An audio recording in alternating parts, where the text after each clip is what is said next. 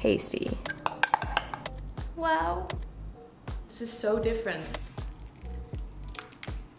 Wow.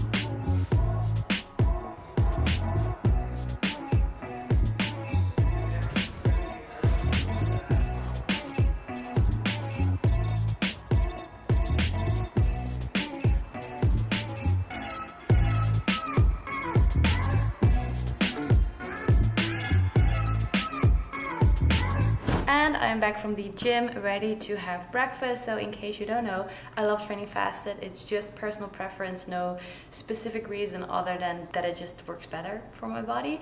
I think unless I have breakfast and then like wait for an hour before I go train, I don't really benefit from eating right before training and I train as early as I can. So that's why I don't want to wait an hour.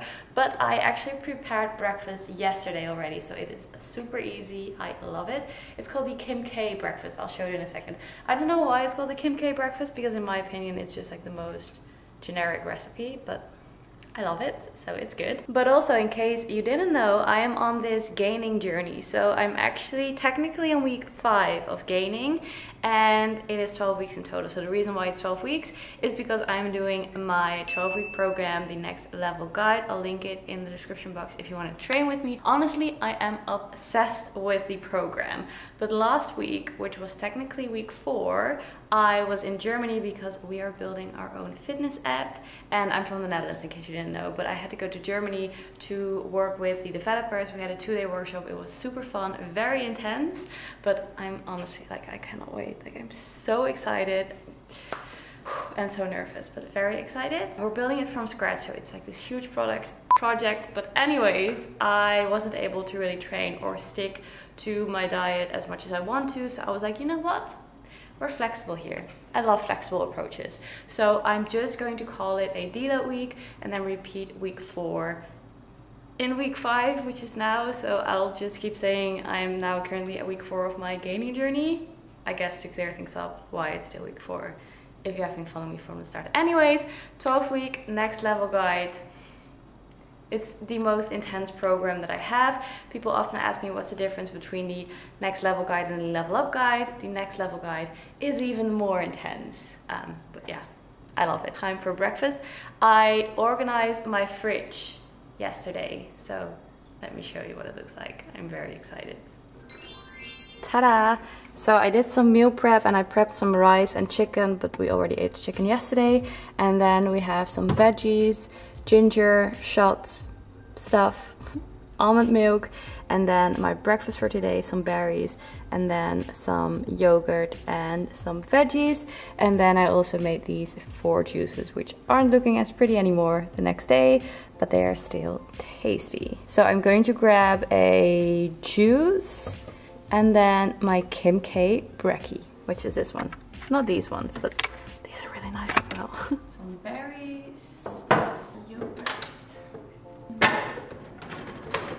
still have a secret stash. Oops, up here. Juice for a day. My leg workout was so intense that my legs are still shaking. but I love it.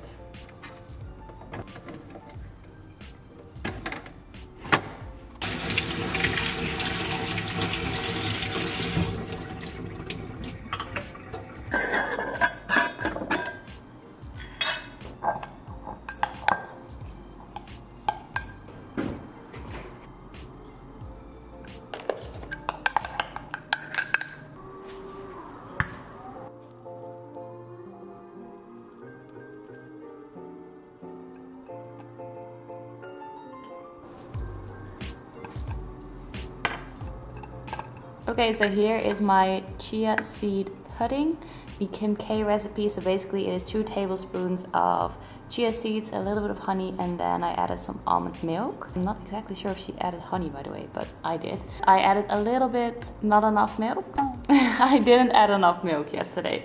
So the day before I added too much, so I added less than that, but now it was a little bit too little. So I added a bit more until you find the preferred consistency that's perfect. And then I added some fresh fruits. Chia seeds are great, they have many health benefits, and this is an easy way to eat them. And then to get some extra protein in, I'm also going to make a yogurt bowl. I always have Greek yogurt. I don't know why, I just prefer it. And then I get the low fat one, because when I get the higher fat one, it actually kind of messes up my digestive system. So we're not going there and making that mistake again.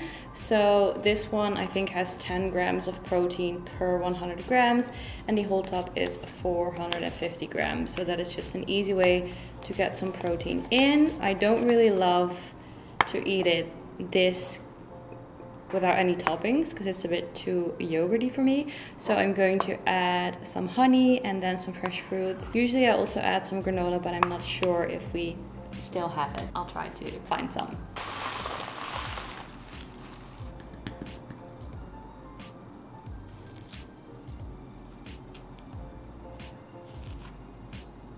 Okay, so here's the end product, the yogurt bowl with granola, honey, and fruits, my Kim K pudding, and then my juice, which is from coconut water and blue spirulina. Breakfast is served.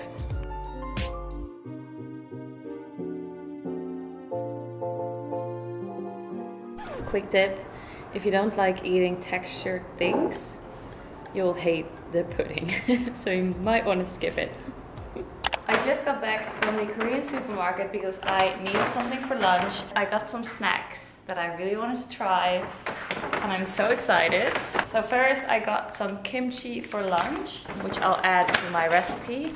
But then what I got, what I really want to try is I got this, what was it called again? Dorayaki.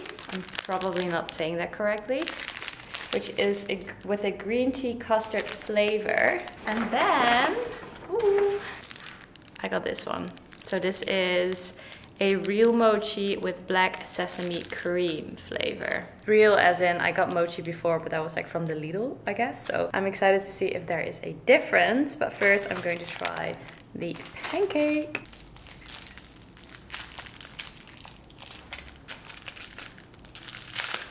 So excited. Oh, it smells so nice. I'm going to grab a spoon.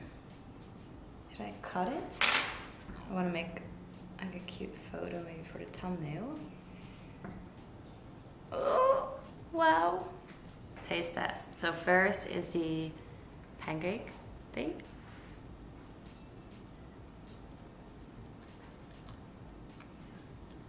Definitely does not disappoint. I love trying these cuisines, I guess that's what you say, that I've never really tried before. I would love to go to the countries and like actually eat there. That would be a dream. 9 out of 10. And now the mochi.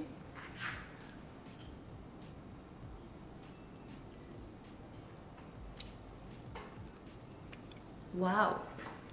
This is so different. I think I had more like an ice cream before and this is more like a paste. Mmm, so yummy. Very nice. You need dinner. It's not time yet. Tomaatje. Ooh. So while I'm eating this, I'm going to prepare lunch.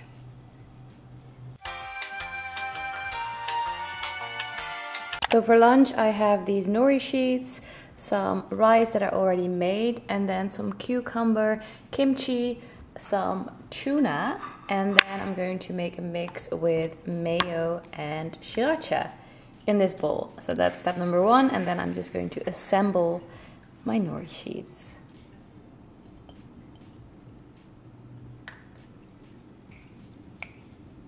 So this is what I have right now. It is the tuna in olive oil and I'm going to add some of this mayo and sriracha. Then I might add a bit of pepper as well, but I'll taste it first.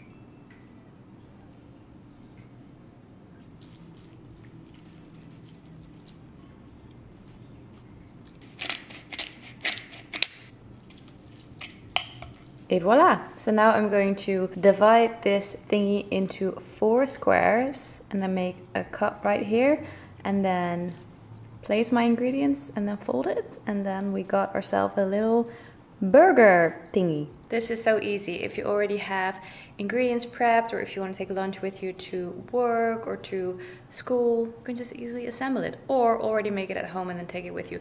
But I prefer assembling it on the spot because then I feel like the nori stays kind of crispy a little bit more, otherwise it will get so soft. But personal preference. You can obviously add any ingredients that you like. I'm making it with tuna right now, but you can also do it with avocado or egg or basically anything.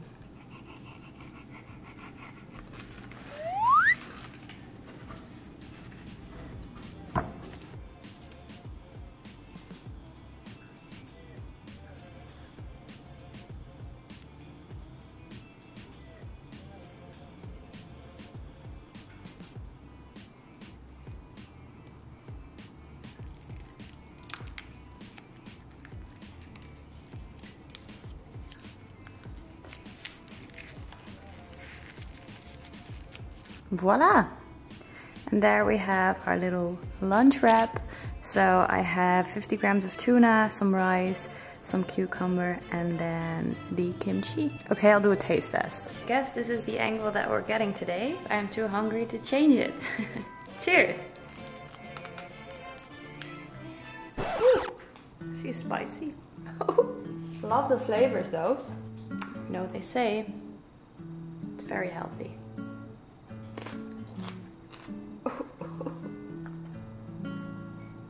This is your reminder to drink some water. And this is my reminder that drinking water doesn't help with spicy food. But it is good though. It's just, maybe I should have picked a different kimchi. Probably. Here is the second one. So I made it a bit thicker with the tuna and the rice. Um, so that's what I wanted to show. Spicy. Oh, you can even see the red peppers. That's why it's spicy. Good evening. I am making dinner right now. I already boiled my potatoes for I think 15 minutes or so now that they're tender. And now I'm going to mash them and put them in the oven. And I also have some chicken in the air fryer which I got at the butcher. So it was already like pre-marinated and stuff. I just had to like heat it up which is perfect. Very quick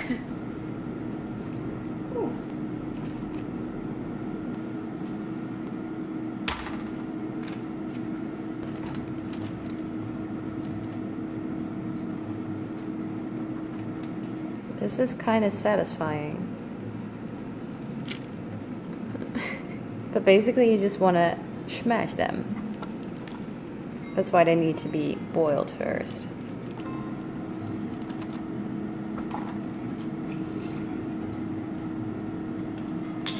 And some salt.